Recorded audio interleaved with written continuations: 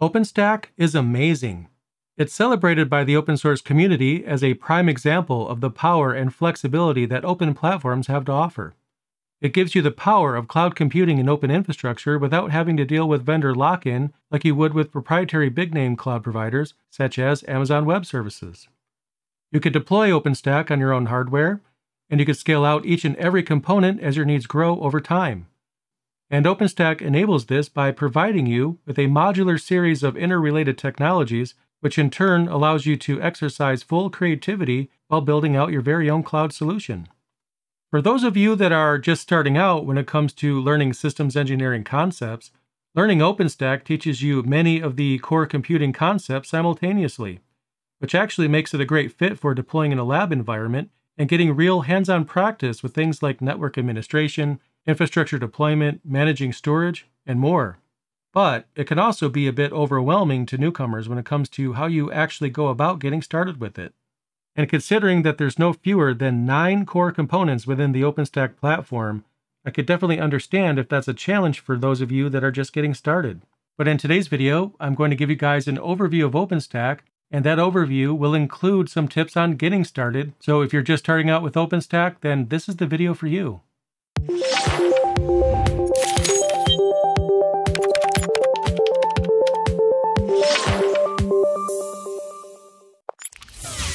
Hello and welcome back to Learn Linux TV. In today's video, it's all about OpenStack. And I'm really excited for this because a lot of you guys have been asking me to do a video on OpenStack.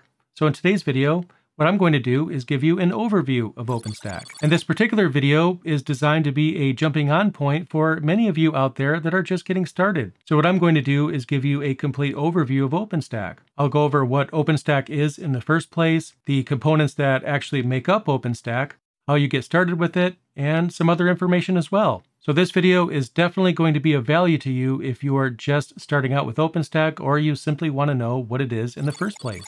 And as part of this video, I'll also give you some tips on how to get started. For example, how do you actually install OpenStack in the first place? What kind of hardware do you need?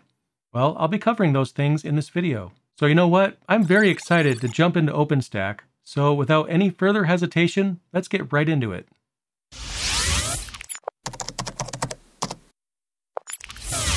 So first of all, what exactly is OpenStack in the first place? Well, in this particular section, that's exactly what I'm going to go over. And you might be familiar with cloud providers such as Amazon Web Services, Microsoft Azure, and Google Cloud. You could use those platforms, among others, to build your very own online services. These solutions cater to a wide variety of use cases, from setting up a simple website to building the backend of your very own online gaming service. OpenStack itself, once it's fully built, gives you access to many of the same tools. And not unlike the cloud providers that I've just mentioned, you can log into OpenStack and build your very own services on that platform. You'll have access to virtual machines, software defined networking, storage, and much more. But the best part of OpenStack is that it's fully transparent. After learning it, you'll fully understand how all of its components fit together, and the reason why you'll understand that is because you, the administrator, would be the one that actually built and deployed the entire stack. And that last point is very important because who really understands how these cloud providers work? I mean, sure, you could get certified in something like AWS or Google Cloud, and as part of that, you'll understand a lot about that platform and how to use it, and also how to deploy resources within that cloud platform. But you still won't understand exactly how it works on the back end that's actually locked away. Now, some of that information is known and some of that information is made available, but a lot of it actually isn't. In fact, with those providers, you have extremely limited visibility into how it all works. And as a result of that, very little control. But with OpenStack, you'll build your own cloud platform from the ground up with all the tools that you'll need already included. And while those platforms power a number of popular online services, they each have one flaw, Again, does anyone actually know how those services work behind the scenes? Well, we do have some information, but it's not like you could download the software for those cloud platforms and spin up your very own version of those cloud platforms on your own hardware. Again, your visibility is limited. Now, OpenStack itself has been around for quite a while, so it's definitely had some time to grow and mature over the years. OpenStack has actually been around since 2010, back when it was a joint effort between the likes of Rackspace and, believe it or not, NASA. Wait a minute, NASA had something to do with the development of OpenStack? If you ask me, that makes its coolness factor increase by at least 10 points. But what does OpenStack actually look like behind the scenes? Well, it's actually made up of a handful of different components that can be installed separately. And these components work together to provide you with the entire solution. For example, when you access OpenStack's dashboard to log in, you're actually interacting with something called Horizon. Horizon is actually the component that provides you with the dashboard itself. Another important component of OpenStack is Neutron, which provides a software defined network. If you've ever logged into a cloud provider and set up a virtual network, then you can consider Neutron the same idea. You could use Neutron to set up your network subnets and also control how each OpenStack component communicates with the others. When it comes to deploying virtual machine instances, that's done with something called Nova. Nova itself is a component of OpenStack that enables features related to compute services and is powered by the KVM hypervisor. So anytime you build a virtual machine within OpenStack, you're doing so through Nova. But in order to deploy a virtual machine, you'll need an image of an operating system to use as the base for that instance. Thankfully, Glance, which is another OpenStack service, has you covered. That's exactly what it does. Glance helps you manage images that you'll later use to build your VMs. But where should you store those deployment images? Well, for that, you'll take a look at Cinder. Cinder is the storage component of OpenStack and provides access to the data it stores via popular protocols such as NFS, iSCSI, as well as Ceph. There's other components within OpenStack as well, but what I've just gone over should give you a basic idea of the fact that OpenStack is split up among different components but together they form the overall solution. Now, those components sound cool and all, but wouldn't it be a lot better if OpenStack was consolidated down to just one thing? Well, actually, the fact that each component is separate is definitely a major benefit of OpenStack. If everything was built into one solution, then that would likely result in wasted resources. Think of it this way. If your virtual machines are starting to run slow due to, I don't know, not having enough CPU time available, it wouldn't make sense to deploy an entire new OpenStack server along with all of its components again if all you needed was just additional CPU power. Instead of deploying an entire new OpenStack solution to increase the CPU responsiveness of your overall solution, you could instead provision a new server with Nova to have it provide additional CPU power without wasting precious CPU cycles on things you don't actually need. If your OpenStack implementation one day becomes very popular, and as a result of that starts to see some heavy usage, your users might start complaining that the dashboard is slow due to how many people are using it at the same time. Instead of deploying an entire new OpenStack implementation, you could deploy another Horizon node to scale out the dashboard across additional servers. Other solutions that you can install on your servers, such as Proxmox Virtual Environment, they don't give you that much flexibility. And although it's impossible to compare Proxmox to OpenStack, since they're not quite the same thing, but the thought experiment fits. If you add another Proxmox VE server to your cluster, then that new instance contains everything the dashboard, networking, compute, everything. So, if all you needed was more compute power, then in that case, it may not make sense to have another copy of every available service when all you needed was just one thing and since OpenStack is split between multiple components that operate independently but work towards the same goal, then that means you have much more flexibility when it comes to how you design your overall OpenStack implementation. So, OpenStack is awesome, and it's also very flexible. But how exactly do you get started with it? Well, actually, that's not as hard as you might think, but there are some legitimate barriers that newcomers might run into. And the first of those is cost. While you can certainly spin up OpenStack with each of the required services on a single physical server, that's not really the best way to do it. OpenStack works best when you have its separate components on, well, separate servers. The second potential barrier is how to install OpenStack. There's actually a few different methods that you could use when it comes to setting it up, each with their own pros and cons. And not having a single tried and true approach when it comes to installing it can be confusing, as newcomers may not know which method to try first. So how exactly do you work around those potential barriers? Well, first of all, let's talk about the hardware side of things. If you're evaluating OpenStack, you could do so with all of the components running on a single server. While having everything on one server may not work very well for production workloads, for learning and testing, you can absolutely check out OpenStack from one single server. Now, the resource footprint on that one server will be a bit higher than you might be used to, as having everything on one server would mean that you would probably need about 32 gigabytes of memory just to get started. But if you have access to a spare server, or even a computer with a lot of memory that you could spin up a VM on, then you can absolutely evaluate OpenStack without a stack of physical servers being necessary. Well, that's great news. Even though OpenStack runs best when you split up its components among different servers, you can run it on one. And even though that's not a good idea for production, that's a great idea for evaluating OpenStack and testing it out. But what about the different means of installing OpenStack? Which method should you actually go with?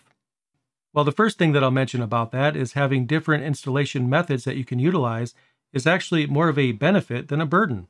Because if one method doesn't work, then you can simply try another. But the first one that I would attempt to use is something called DevStack.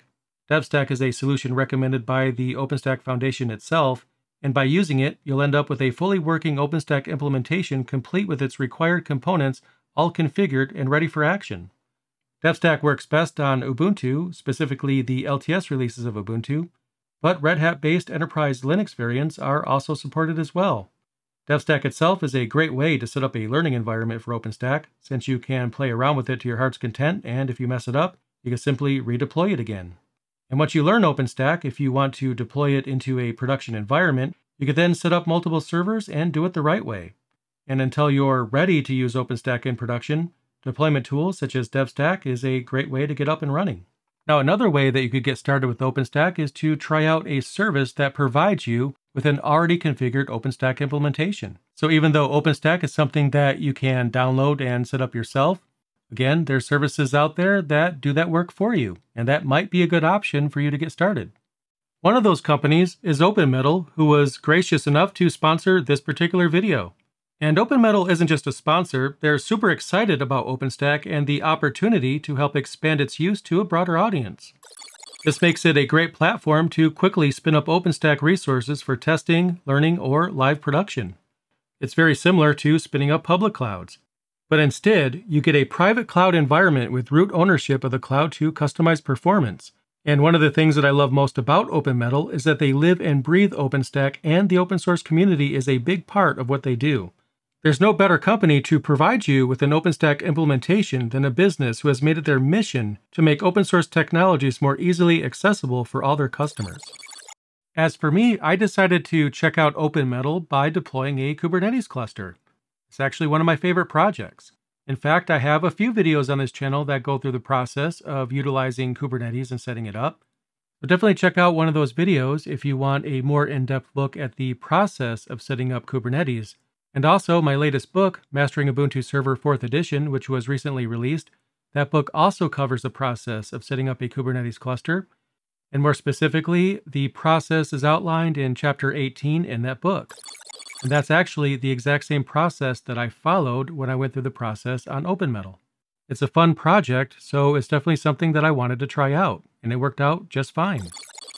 So to set this up in OpenMetal, what I did was I created an SSH key pair and I also created a number of security groups as well. I wanted to allow the public IP for my home studio here to access the instances that I planned on creating.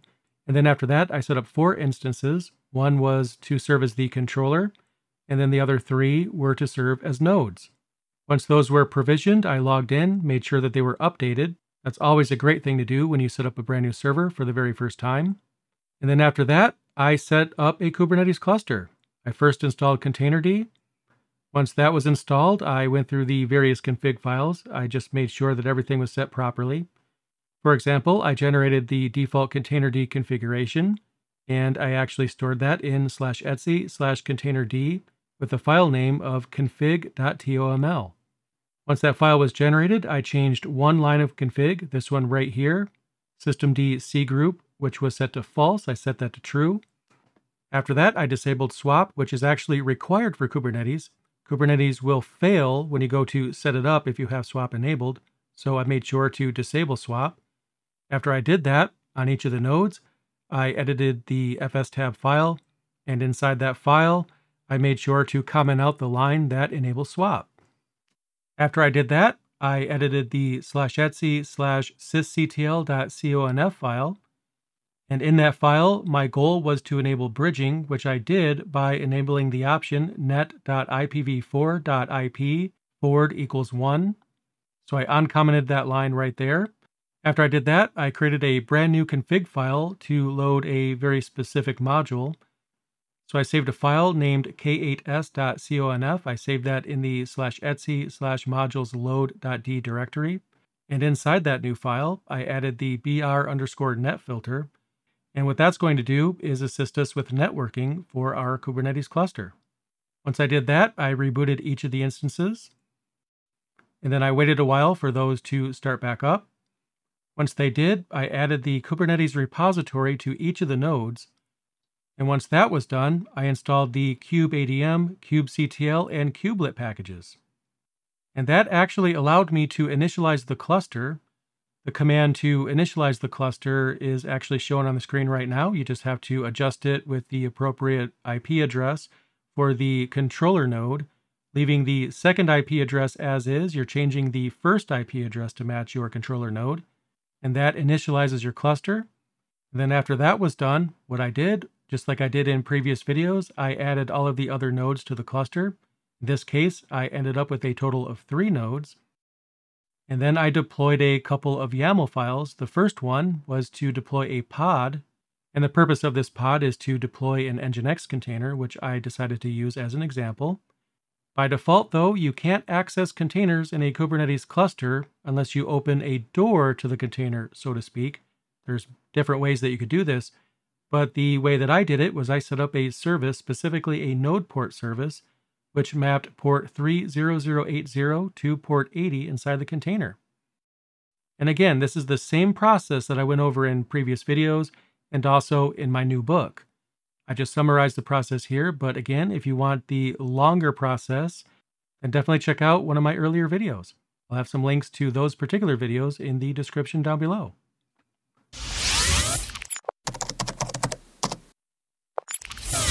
So there you go. As you can see, OpenStack is awesome. And I'm really excited that I was able to do this first video about OpenStack. So definitely let me know in the comments below what OpenStack related content you might want to see. I think OpenStack is just so awesome. I especially love how each of its components are separate, it's open source, so you could build it in a way that makes sense for you or your organization. And now that I have this particular video out the door, I have a jumping on point on this channel for anyone out there that's getting started with OpenStack and wants some general information about it. And depending on what you guys come up with in the comments, well, that'll determine which direction I go next. So again, if you want to see more OpenStack content, definitely let me know in the comments. Anyway, with that said, thank you guys so much for checking out this video. I really appreciate it, and I'll see you next time.